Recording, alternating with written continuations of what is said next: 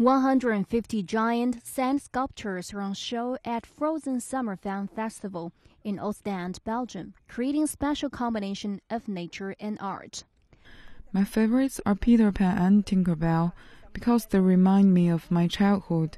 My father was reading me these books when I was a kid.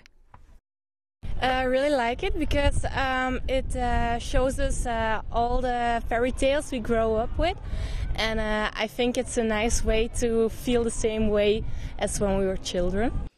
To build this sculpture village on the coast of Belgium, a team of 30 carvers from all over the world worked for nearly one month. They used up 6,000 tons of sand brought by 200 trucks. The sand we use is uh, 50 million years old. It's special cave sand. It's sand which has never seen the sea. No matter what kind of sand, it is never a durable substance, especially in Belgium, which often rains. This is why there has to be a sculptor on duty every day to repair small damages done by visitors.